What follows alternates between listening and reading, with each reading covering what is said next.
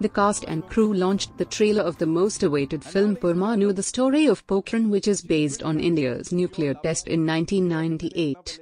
During the media interaction when asked about the release of the film in Pakistan filmmaker Abhishek Sharma said the film will screen in 300 screens and actor John said the film is not an anti-Pakistan film, it is a very pro-India film. To, to answer your question, you're right. This is this is not an anti-Pakistan film. It's it's a it's it's a pro-India film. So we're very clear.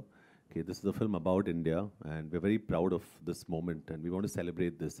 अगर हम लोग हर जगह पे देख के we start thinking about other markets, we'll be we'll be compromising on our film. We want to tell the story as it is, and we don't want to deviate from that.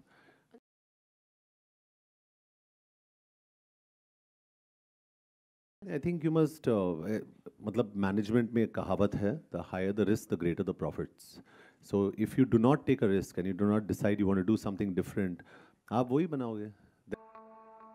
John Abraham has produced critically acclaimed films like Vicky Donor and Madras Cafe under his production house during the trailer launch when John was asked what could be the reason that Hindi film industry has an escapist attitude when it comes to making film like Parmanu, the story of Pokhran The actor said, I think it's important to make different films, and I'm getting the opportunity to make those films because I am a producer also now. So I've, I have the authority to say, yes, मुझे ये करना है, ये नहीं करना है. And I've got a fantastic team with me that sits with me and says, okay, can we make this?